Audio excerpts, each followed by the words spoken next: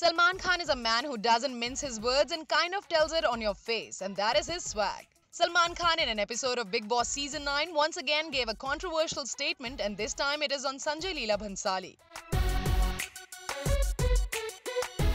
When Ranveer Singh came to promote Sanjay Leela Bhansali's film Bajirao Mastani on Bigg Boss, some unexpected things happened.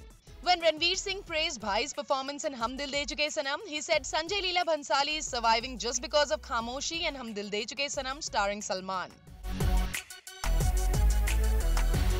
And that is definitely invitations to controversy. Salman Khan was the first choice of Bajirao and Sanjay wanted to cast Aishwarya in the film. But things went bad as the couple broke off and the film got delayed. Now why Salman made such a statement only he knows.